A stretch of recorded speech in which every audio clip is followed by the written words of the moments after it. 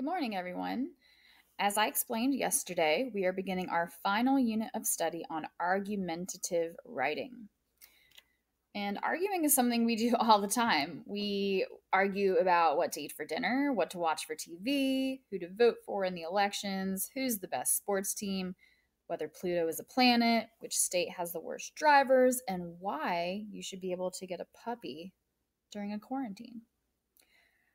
While some of these argument topics are obviously funny um, and a little silly, the ability to craft a good argument can also be a survival skill. It can help you get a job, it can save your relationship, and it can help you defend yourself in a legal situation, whether you've done something wrong or not. Arguing is an art form. There's no uh, there's specific vocabulary related to argumentation, and there are certain techniques that I'm going to teach you in order to become better at arguing. I'm also going to highlight some techniques that are popular to use but are actually signs of a really bad argument. So, in week one of our study, we are going to go over important argument vocabulary and the structure of an argument. Each day, I'm going to ask you to read or watch a different argument and to identify its structure. Then next week, we'll you'll start responding to these arguments by experimenting with the different structures. And finally, in week three, you're going to craft your own argument about some topic that's important to you or that's relevant in the world right now.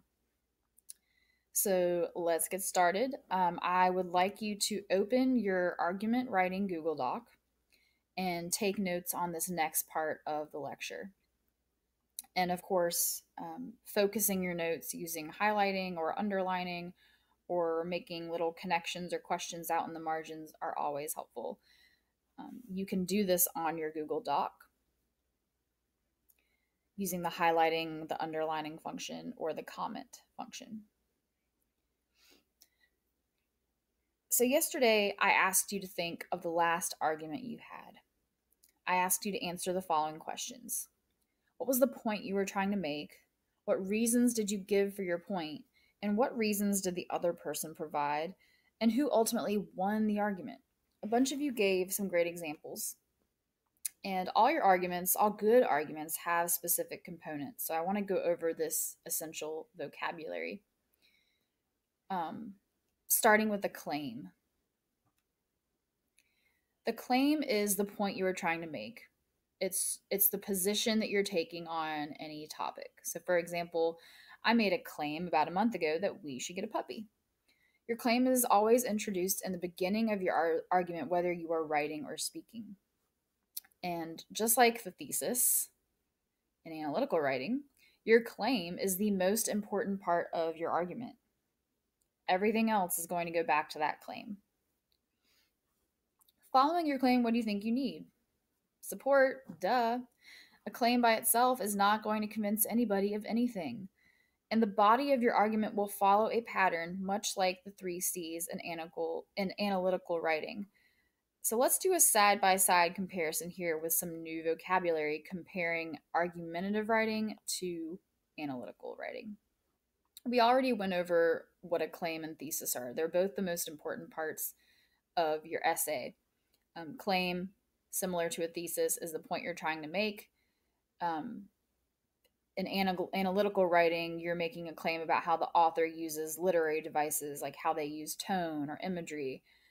You're not really critiquing how the author crafts the argument here. You're looking at their main point. Next up, following your claim, you need to have reasons that support it. These are just specific points or facts that support your claim. Much like the context in analytical writing. Following your reason, you need evidence. You got to back it up. People aren't just going to take your word for it, even though you may have a good reason, because they may have their own good reasons as well. Evidence consists of facts, statistics, or anecdotal data that proves your reason. If something is anecdotal, that means it's from personal experience. So somebody saw someone do something, they're the only witness. That would be anecdotal evidence. It's very, very similar to content in the three C's, which is your textual evidence. Ultimately, all of this goes back to support your main point.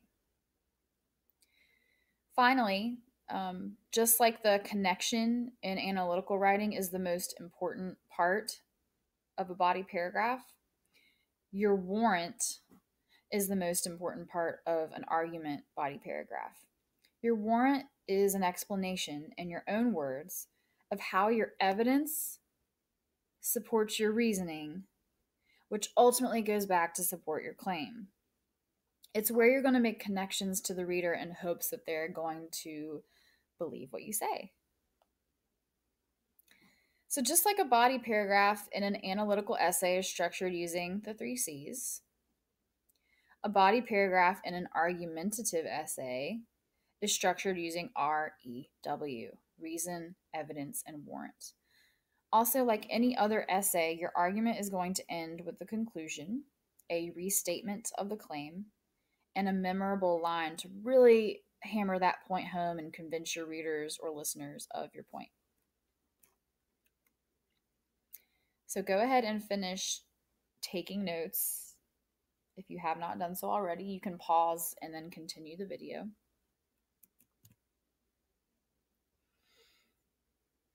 Today, I want you to read a short piece called The Ugly Truth About Beauty by Dave Barry.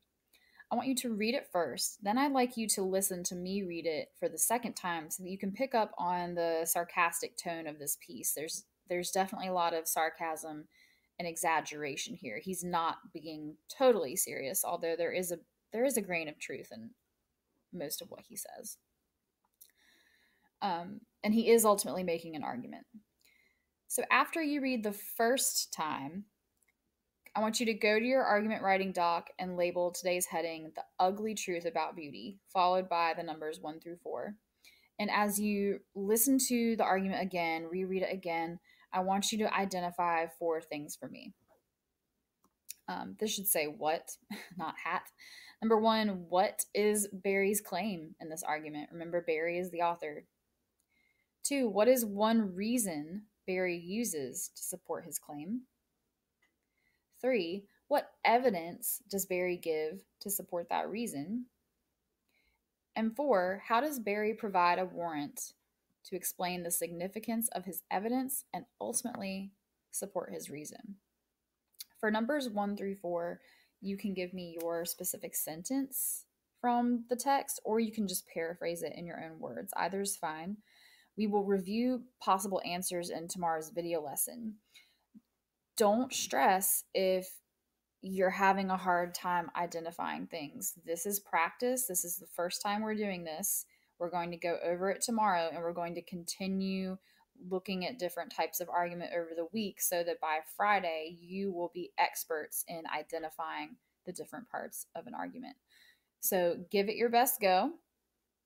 Um, remember to read it at least twice, and you're doing everything on your argument Google Doc and check out the link with um, the Zoom conference and the password if you need help later today.